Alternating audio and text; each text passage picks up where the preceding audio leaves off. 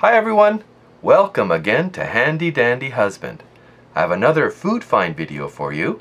This one was inspired by my friend Joy and her request for something South Asian.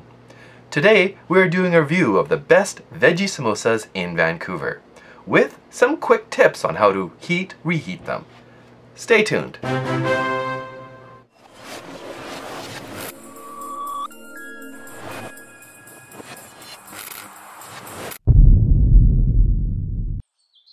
I have looked far and wide for the best quality and reasonably priced veggie samosas in Vancouver. And nothing beats the McMosa's samosas in my opinion. While they are not the cheapest, they actually put more than just potatoes in their samosas. And the consistency, flavor, crispiness, and overall quality of their pastry is unbeatable and just simply incredible. Here is McMosa's contact information. Here is a map of their location and a picture of their frontage. Now, note, do not be betrayed by the more modest and industrial appearance of McMosa's frontage. They make excellent food. Mr. Sahota, the owner, and his family started their business making muffins in the early to mid 1990s. And then they began making samosas. McMosa's does not do any marketing or advertising. All their business, and they are very busy, is by word of mouth alone. I suppose you could consider this one of their first public advertisements, but they have not endorsed this YouTube video, nor are they aware of it. Now, here is their menu, and like I said, they don't spend too much money on marketing. Their focus is on quality product. Because they're so busy, sometimes they sell out. So it's best to call ahead and confirm they have what you want before you go to the store to pick it up. I purchased in total 25 mixed veggie samosas. I paid $19 for them. The samosas in size are triangular shaped and approximately three and a half inches by three and a half inches by about three inches.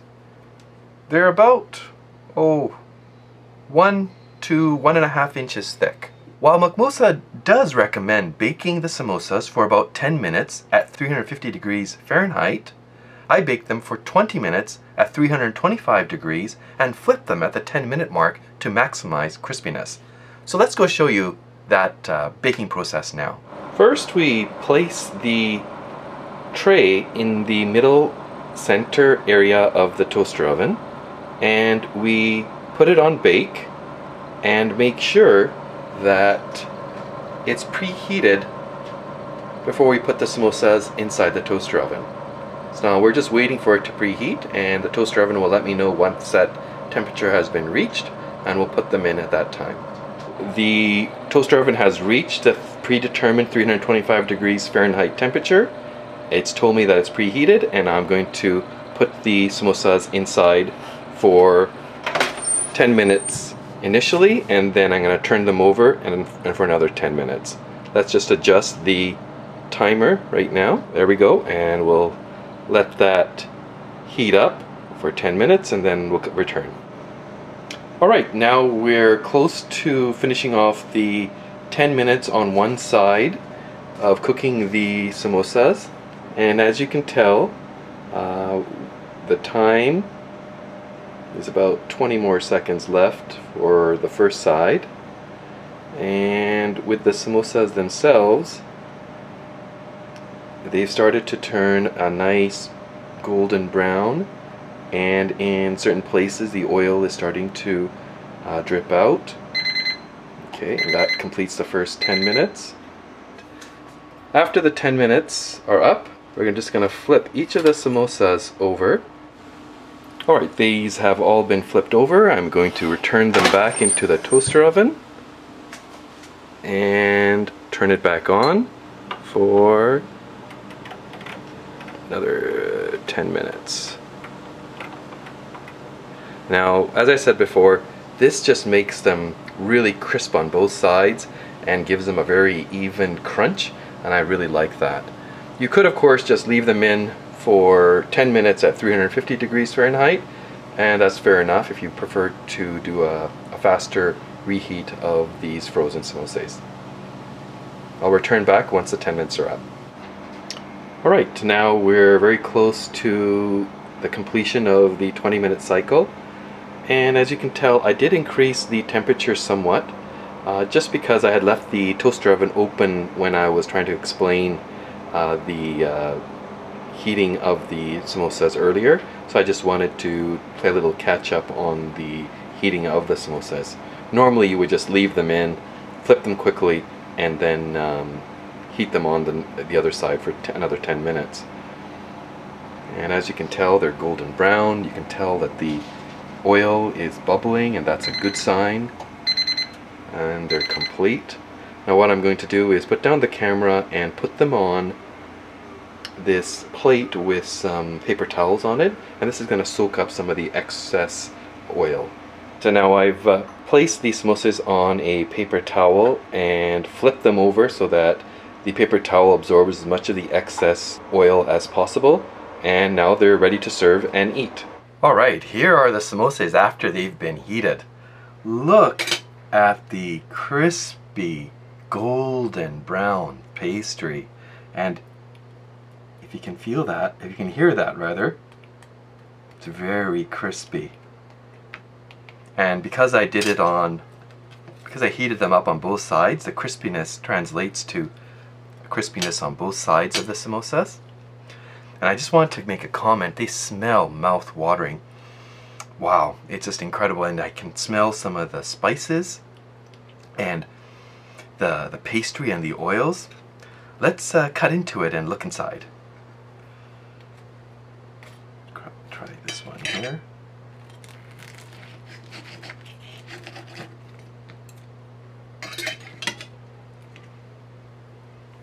Okay, let me just focus this here.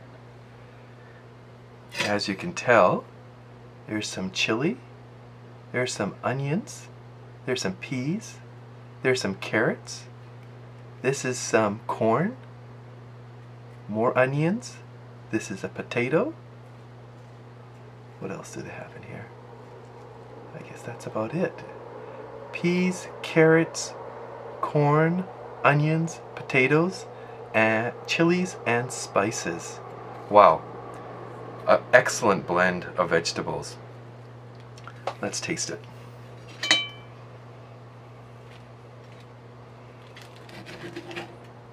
You can see the, the filling pops right out. Cuts really evenly. Mmm. It is spicy, but not overpoweringly so.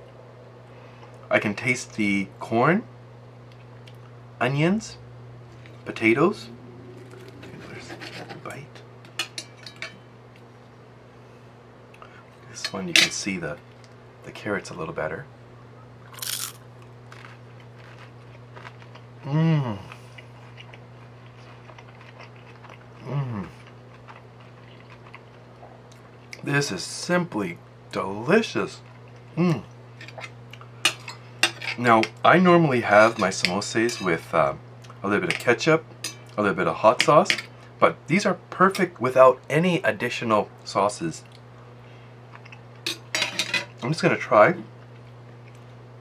it with some hot sauce.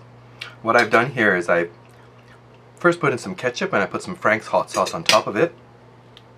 Let's dip it in and see how it tastes.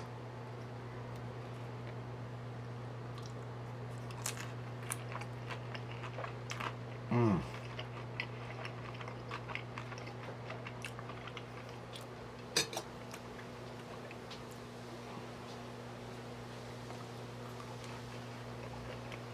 Mmm. Mmm. Now normally, the ketchup and the hot sauce would improve the flavor. In this case, having eaten them plain, oh, it's so much better, just plain alone. It's a wonderful, wonderful combination of, uh, of spices, veggies, and potatoes.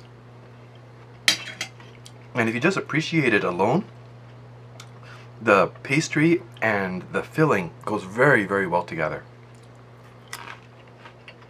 Mmm.